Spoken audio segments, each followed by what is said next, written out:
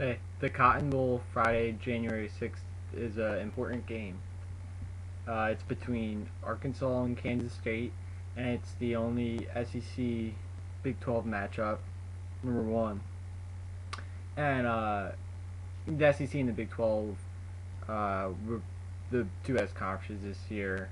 I mean, you could argue it, but from top to bottom, uh, the SEC and the Big 12 were the two best conferences, just based on uh, depth, and also they have the best teams at the top: Alabama, LSU, and Arkansas, uh, Oklahoma State, Oklahoma, Kansas State, um, and the two separate ones.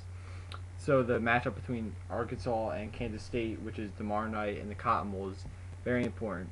First of all, if you look at the uh, conference standings in the bowl game so far, how each conference is doing record-wise in all the bowl games.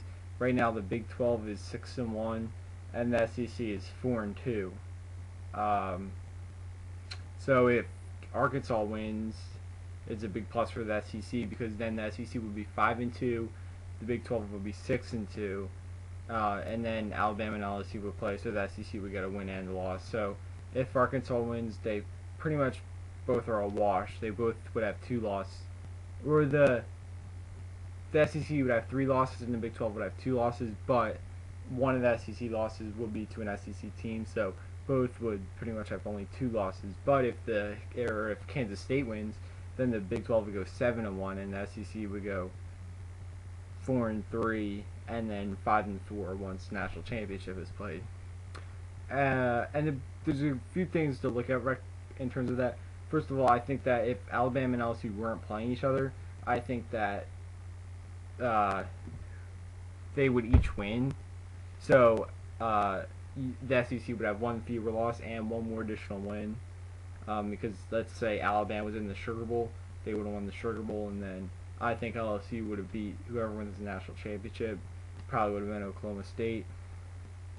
And then also, two of the teams in the that got wins in the Big 12, Texas A&M and Missouri, will be in the SEC next year.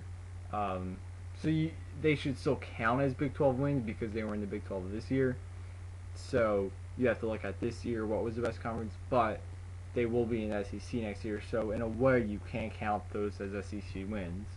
Um, and just like that, another thing to look at though is that West Virginia and TCU will both be in the Big 12, and they both won their bowl games. So the so the Big 12 really is six and one, even if you take away Texas A&M and Missouri, because then they add in uh, West Virginia and TCU, and West Virginia had that huge win against Clemson, so that um, so I think that that West Virginia win goes to the Big East, but if you do take away Texas A&M and Missouri, then you can add in the West Virginia and TCU win for the Big 12. So, there's I personally think that there's a lot of bragging rights on the line. Um, if you look at the national championship debate, um, the it was who should get in as in the number two spot, Alabama or Oklahoma State. Um, well, Alabama in the regular season played and beat Arkansas. Uh, Oklahoma State played and beat Kansas State. So the fact that Arkansas and Kansas State are playing it um, should be interesting. Uh, um, as for the game itself, it should be a really interesting game. As I said in the previous uh, video, it they kind of take on a role reversal these two teams because Arkansas really plays like a Big 12 team, and Kansas State kind of plays like an SEC team.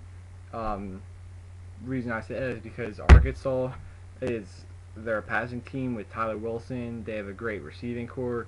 They have really four or five really good receivers. They line up in shotgun a lot. They throw it around the field and they don't play uh, or they don't have a really really good defense. And so, um, in that sense of having a passing offense with great receivers and a good quarterback, they're like a Big 12 team. And Kansas State is kind of like an SEC team. They're kind of tough, physical.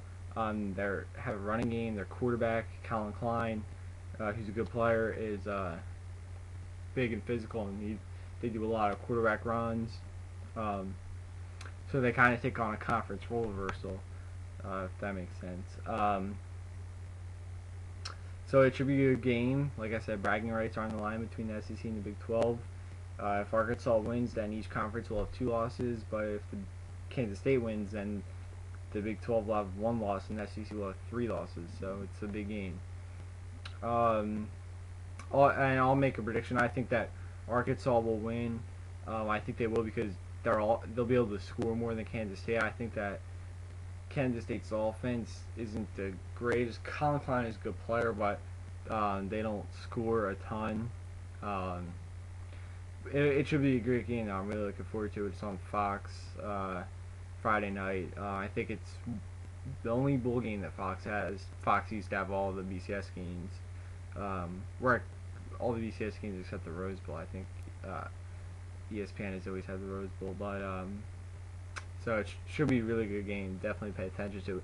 and a, a, lot. Of, it has a lot of meaning outside of the game itself, um, because if you're looking at um, next year, uh, it could affect rankings, and it could affect how people and voters, the uh, Harris Poll, AP, and coaches, how they view these two conferences going into next year, because it's the only SEC and Big 12 matchup this year in bowl games.